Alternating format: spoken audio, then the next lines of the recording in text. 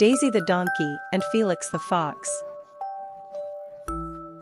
Once upon a time, in a beautiful meadow, there lived a friendly donkey named Daisy and a clever fox named Felix.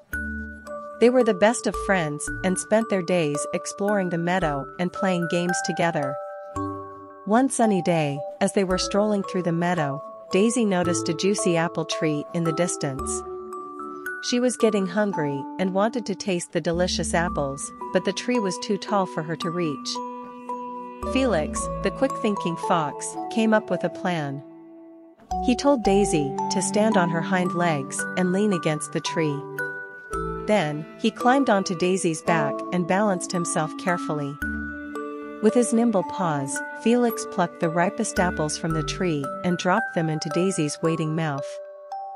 Daisy giggled with delight as she munched on the sweet apples. She was so grateful for Felix's help and they continued to have fun together in the meadow. As they played, a mischievous squirrel named Sammy watched them from a nearby tree. Sammy was jealous of Daisy and Felix's friendship and wanted to cause trouble. He sneaked up behind Daisy and pulled her tail with all his might, making her bray loudly in surprise. Felix, who was always looking out for his friend, quickly sprang into action. He leaped onto Sammy's back and startled him, causing the squirrel to scamper away.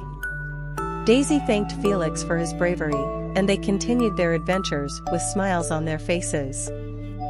From that day on, Daisy and Felix became even closer friends.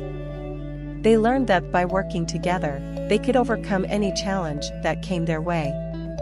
Whether it was reaching the highest apples or chasing away mischievous squirrels, they always had each other's backs.